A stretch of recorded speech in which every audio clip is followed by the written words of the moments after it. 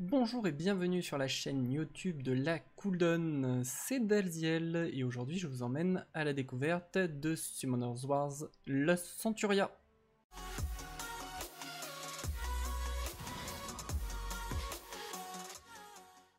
Alors, vous connaissez sûrement déjà le célèbre gacha de Come to Us, Summoners War Sky Arena, qui a quelques années maintenant, et il a toujours une communauté qui est aussi active, aussi riche autour du jeu. Lost Centuria est donc le nouveau venu de Come to Us. Alors on n'est pas du tout dans une suite ou dans un remplacement de Sky Arena, on va bien être dans un second jeu parallèle au, au développement de Sky Arena. Les deux jeux vont partager le même univers, quelques mécaniques, mais vous verrez que les gameplays sont bien différents entre les deux. Donc on va retrouver bien sûr les monstres emblématiques de Summoner War, comme vous pouvez voir là. Il y en a une trentaine, je crois, au début pour le moment. Voilà. On retrouve donc des personnages bien connus, hein, bien sûr, Artemis, ici, euh, pardon, Artamiel, autant pour moi. On retrouve la chimère Rakan, la chimère de feu. On retrouve bien sûr les types, hein, comme d'habitude, feu, eau, euh, vent, enfin plante là. Et euh, nous avons lumière et darkness qui s'opposent, donc une trinité plus deux autres qui s'opposent. Et on retrouve toujours bien sûr les affinités, donc euh, le feu bat la plante, la plante bat l'eau, et l'eau bat le feu, voilà, comme d'habitude. Jusque là, rien de nouveau à l'horizon. Ils ont pour le coup, si vous remarquez un petit peu, perdu leur côté chibi, hein, donc euh, le côté petit, mignon, à grosse tête qu'ils avaient dans Sky Arena. Et cette fois-ci, on a une direction artistique beaucoup plus conventionnelle, un petit peu plus mature, même si elle garde un côté très coloré quand même dans l'ensemble. Et je trouve que ça fait beaucoup de bien, autant c'était sympa la DA de Sky Arena, autant on avait tendance à se lasser un peu au bout d'un moment. Euh, vous retrouvez toujours les invocations, hein, bien sûr, qui se feront, bon alors ça a un petit peu changé, hein, euh, c'est des coffres et des bouquins, mais globalement ça se passe comme dans, euh, Summoner's War, euh, auquel vous êtes habitué sûrement. Donc en fait c'est le principe d'un gacha tout simple, hein. vous invoquez avec des taux de rareté, je vais pouvoir vous les montrer ici. Voilà, des taux de rareté qui sont bien indiqués. L'avantage, c'est qu'on les connaît tous par cœur. Hein. Enfin, ils sont tous indiqués. Donc, pas besoin d'aller les chercher sur un site tierce ou autre on a connaissance des euh, pourcentages de drop de l'ensemble des monstres et autres, euh, et perks, sorts, etc. Voilà, donc ça c'est pour les bases, ça reste un gacha, à ce niveau-là, rien ne change. En dehors de ça, en dehors des monstres, de l'univers et du côté gacha, il n'y a pas grand-chose qui euh, va rester, on va avoir un gameplay totalement différent. vous allez donc pouvoir améliorer vos monstres, alors si ça c'est toujours identique aussi, euh, là, par exemple, une fois qu'on en a accumulé 5, une fois la même, on va pouvoir l'améliorer. Donc ça change un peu du premier où on pouvait donner à manger n'importe quel monstre à un autre, où on pouvait le mettre à grimper des levels euh, tout seul dans des poules d'expérience. Et bien ici maintenant il faudra accumuler un certain nombre de fois la même carte, la même pièce, pour pouvoir voilà, gagner un level sur la pièce. Vous voyez également qu'elle a une capacité, on y reviendra très rapidement. On retrouve toujours le système de runes exactement identique à celui de Sky Arena, sauf que cette fois-ci, il n'y en a plus que 3 à désigner, donc les ensembles sont par 3. C'est plus simple, c'est réduit, certes, mais c'est toujours aussi efficace, et comme il y a beaucoup d'autres choses à prendre en compte, peut-être qu'ils ont voulu un petit peu simplifier le jeu sur ce point. Et vous verrez également qu'il y a en plus ce qu'ils appellent maintenant la pierre de compétence, qui on peut donc en sélectionner une seule, il faut les obtenir. Pour Megan, je n'en ai aucune, je vais vous montrer peut-être sur un personnage où j'en ai déjà dégoté une par exemple Priléa. Donc vous avez trois pierres à sélectionner, moi j'en ai qu'une seule, et elle va venir modifier tout simplement la compétence de la créature en lui ajoutant un effet bonus ou euh, en changeant légèrement son effet, toujours en positif bien entendu. Voilà, donc euh, il y a différentes raretés également des pierres et il va falloir les obtenir. Euh, au fur et à mesure, ça s'obtient exactement de la même façon que les invocations. Hein. Il y a évidemment une carte spéciale qui vous permet d'obtenir que des pierres et pas autre chose pour améliorer les chances de drop, bien évidemment. Voilà, là vous avez les bases au niveau de ce qui ressemble un petit peu à euh, Sky Arena. Maintenant, la spécialité de Lost Centuria, ça va venir dans son gameplay. Donc on va constituer une formation de monstres. Alors, on en a au total 8 à positionner en deux lignes. La ligne de front, la ligne arrière. Évidemment, la ligne de front se fait attaquer en premier, la ligne arrière en deuxième, et il y a des sorts qui vont toucher que les lignes de front, que les lignes arrière. Bien évidemment. L'ordre d'aggro est tout simplement indiqué par leur position, donc 1, 2, 3, 4, 5, 6, 7 et 8. Et euh, bien ça sera l'ordre dans lequel ils vont se faire attaquer par les adversaires, voilà l'ordre d'agression. Donc quelque chose qui va vous permettre de setup votre équipe. Généralement on va mettre évidemment des tanks en 1 et 2, vous avez compris. Euh, on va mettre des supports ou des off DPS, mais qui sont relativement solides en 3 et 4, et on va venir placer en 5, 6, 7, 8 nos DPS et nos supports supplémentaires. Alors ça c'est la formation de base, vous verrez très vite qu'il y a beaucoup d'autres tricks à faire. Vous allez pouvoir avoir envie aussi de mettre parfois des tanks ou des pièces résistantes en seconde ligne. Vous pouvez très bien en 5 lorsque vous perdez votre ligne de front et que ça arrive en ligne arrière vouloir une pièce qui va amortir les dégâts le temps de placer vos DPS qui sont en 6, 7, 8. Bref, il y a pas mal de choses à faire. En plus de constituer cette, euh, équipe, vous allez pouvoir sélectionner 3 sorts donc euh, voilà, moi j'en ai 6 au total, 3 de sélectionnés et 3 autres qui attendent. Je ne sais plus combien il y en a, une dizaine je crois pour le moment, bien sûr le contenu va être enrichi par la suite. Qui aussi ont des niveaux, hein, bien sûr, comme, euh, comme le reste des cartes, hein, indiquées ici. Et, euh, et, voilà, qui sont tout simplement des sorts que vous allez lancer directement et qui ont un effet. Par contre, ils ne sont utilisables qu'une fois par bataille chacun. Après, c'est fini. Voilà, donc il faudra bien les sélectionner quand même. Hein. On ne on pourra pas trop s'amuser avec eux. Et il faudra les lancer au bon moment. Vous avez déjà pu remarquer peut-être qu'il y a un coup en haut à gauche de chaque personnage et de chaque sort. Eh bien c'est tout simplement le coup de sa compétence correspondante. Et là on va rentrer dans un gameplay très différent de ce qu'on avait dans Sky Arena puisque Lost Centuria s'inspire directement de Clash Royale. Vous allez gagner de la mana au cours du temps et chaque compétence de personnage est représentée et chaque sort par une carte qui dispose d'un coup, ici indiqué en haut à gauche, et vous allez pouvoir les jouer au fur et à mesure de la bataille, et c'est tout simplement l'enchaînement de ces sorts qui va être intéressant. Nous verrons également qu'il y a une mécanique de contre fort sympathique qui vous permet de jeter un sort pendant que l'adversaire est en train d'en faire un, histoire de pouvoir lui opposer un petit contre. Alors, on retrouve pas mal de modes de jeu. Si Sky Arena avait une grosse part de PVE et pas mal, quand même, on va pas se le cacher, de PVP à côté, eh bien, euh, Centuria fait le choix d'être résolument très compétitif et très axé PVP. Donc ici, on va retrouver les modes de duel en version normale ou en classé. là d'ailleurs, j'ai un petit peu progressé, je suis en top 21,2%, j'ai commencé le jeu il n'y a pas très très longtemps, voilà. On continue à progresser, on vient d'arriver Silver 4. Euh, nous avons les modes solo, donc euh, qui sont les modes PVE, soit les combats d'occupation. Alors les combats d'occupation, c'est un faux mode PVE, puisqu'effectivement c'est un mode PVE, donc ici avec 3 euh, batailles par zone, ça ressemble beaucoup aux zones de Sky Arena. La différence, c'est que pour pouvoir débloquer une nouvelle zone, par exemple ici, si je veux passer à cette zone-là, eh bien il va falloir que j'atteigne un certain palier en PVP. Donc même le PVE est là pour vous inciter à aller vous euh, confronter aux autres joueurs. On sent que le jeu a été créé pour la compétition. Voilà, on va avoir des tournois, on va avoir de l'organisation, comme il nous avait fait avec Sky Arena, mais ça va être encore plus poussé sur Lost Centuria, c'est vraiment le jeu compétitif de euh, Come to Us.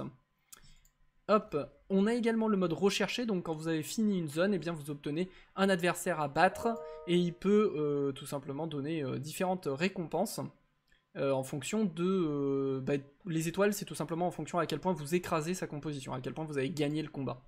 Si vous l'avez juste gagné de justesse, ou si vous l'avez gagné en, en le lavant littéralement parce que vous avez toute votre équipe qui est vivante. Voilà, dernier petit mode de jeu, très sympathique, le mode challenge, qui est un combat de contrainte, et euh, donc celui-là, je l'ai perdu parce que je, l'ai tenté la première fois, j'avais pas compris.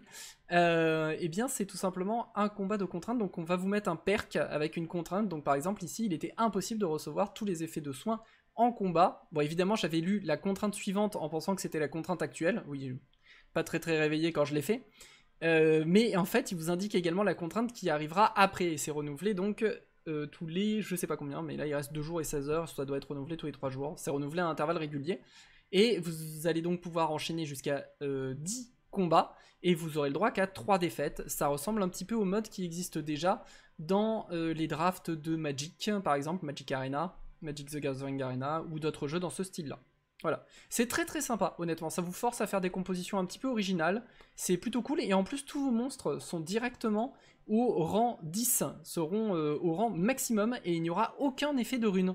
Donc en fait ça donne des combats beaucoup plus équilibré. Voilà, c'est 4 jours. Euh, exactement. Donc euh, ça donne des combats beaucoup plus équilibrés et moins influés par le côté bah, payant, puisque certains joueurs du coup, peuvent être amenés à payer beaucoup pour obtenir énormément de monstres et plus haut niveau. Et bien ici, au moins, tout est à égalité. Il n'y a que si vous disposez ou pas du monstre, mais honnêtement, ça va pas changer énormément une équipe. Je vous propose de vous montrer rapidement quand même un combat, ils sont relativement courts, ce qui est sympa puisqu'on reste quand même sur un jeu mobile, je vais partir avec mon équipe de base, je sais pas du tout si je vais gagner, mais c'est histoire de vous montrer un petit peu les différentes mécaniques qui euh, sont autour du jeu. Les temps de recherche sont pour le moment très courts, on est au début du jeu, beaucoup de gens ont commencé à se poser dessus, et je pense, vu le succès de Sky Arena, que Lost Centuria devrait jouir d'une certaine fanbase sans aucun problème. Donc on voit bien sûr la composition adverse, il a fait le choix de prendre aucun sort. Certaines personnes font ça pour maximiser les chances de réavoir une carte d'un de leurs personnages quand ils souhaitent un petit peu les spammer, puisque les cartes de sort vont prendre en emplacement pendant un moment. Donc là j'en ai 4, on va commencer tout de suite par accélérer notre vitesse d'attaque avec l'ami. Bon, il y en a beaucoup qui font du type de carte pour pouvoir jouer uniquement en contre. Là par exemple je contre son attaque à lui, puisqu'on a joué en même temps, mais j'ai joué juste avant, et il va pouvoir lui jouer le bouclier magique de la pisse qui a grande compétence de base. On va finir son nounours et on va restaurer de la santé à notre monsieur. Pareil, soin de support directement pour augmenter l'attaque et mettre un petit peu de soin, c'est pas un soin incroyable. Il fait son accélération lui aussi. Toutes les équipes quasiment jouent avec de l'accélération, le spell est tellement fort. Ça vous permet de gagner plus de mana. Aïe Oh, il est pas mort, mais il s'est fait interrompre. Vous voyez du coup les petites subtilités, c'est plutôt sympathique. Je vais directement recaler mon accélération. Et ce que j'aimerais, c'est pouvoir le terminer Évidemment, je l'ai lancé alors qu'il était invincible parce que je ne suis pas très très concentré, mais je prends des dégâts continus. Non, ça va. Hop. Donc, je lui ai en plus brisé de la mana grâce à ma pierre de compétence, et ça, c'est quand même super chouette. On va utiliser le spell de la piste pour avoir les dégâts sur le monsieur de feu. Juste derrière, on va utiliser également les effets pour diminuer, sauf lui qui, qui était immunisé, bien évidemment, et comme c'était ma cible principale, c'est un peu triste, mais... Ah, il va venir à bout. Non, il n'est pas tout à fait venu à bout de ma pièce, donc j'ai pas le malus, fort heureusement, qui va avec. Je suis pas hyper concentré non plus sur ce qui se passe. Hop. Bon, là, évidemment, je joue le bouclier, je joue un bouclier de conversion de dégâts, ce qui fait qu'ils vont récupérer des PV à la place d'en subir. Ça achète un tout petit peu de temps, c'est pas fou, mais... Elle va aller le tuer, ce qui va lui faire perdre de la mana à nouveau, ce qui est plutôt pas mal. Il a tenté de contrer, mais il a contré un peu trop tard, et je vais enchaîner directement avec une attaque de vent solide sur son bouclier sur sa créature d'eau. Comme ça, elle prend de bons dégâts. Voilà. On va essayer de recaser lui parce que je sens que sa mort est prochaine. voilà, en plus il se fait interrompre. Super. Génial. Hop, du coup, on va réutiliser une compétence plutôt d'eau. Ah, l'invincibilité qui tombe et qui la touche. Du coup, ça ne servira pas à grand chose ici. On va attendre que l'effet d'invincibilité parte. Ok, il arrive à activer son bouclier, c'est un petit peu pénible. Et en plus, il régénère beaucoup de boucliers. Il a level 8 Lapis. Je pense que ce combat va être très compliqué à passer sur une Lapis level 8. Parce que je l'ai pas joué extraordinairement bien. Il gère très très bien son bouclier en plus. Ce que je ne fais pas du tout, moi. Je joue un peu à la lâche. Mais il gère très très bien son coup de bouclier. Là, par exemple, il utilisait un... une créature de front line mais en back-lane. Histoire d'avoir la possibilité de tout le temps contrer mes attaques et qu'elles ne se fassent pas tuer bêtement. Voilà, je vais mettre une défaite, mais ça vous a permis de voir un petit peu euh, du coup à quoi ressemblait le système de combat. Donc ça peut se faire en une, deux ou trois étoiles, en fonction de à quel point vous gagnez ou vous perdez. Voilà, bah, j'étais juste à la limite euh, du coup entre le, le bronzin et l'argent. je vous remontrerai un combat un petit peu plus palpitant dans une prochaine vidéo où je serai plus concentré avec une équipe un peu mieux construite, bien sûr. Euh, pour terminer un petit peu cet aspect découverte de l'ensemble, euh, je vais vous amener dans le territoire que vous allez très rapidement débloquer. Vous aurez le bureau d'émission qui est une facette PVE très automatique. Donc bon c'est vraiment tout bête, là vous voyez que j'en ai complété une, il y avait marqué mon taux de réussite. Ça me donne des essences qui me permettent de créer les runes, c'est essentiellement à ça que ça sert.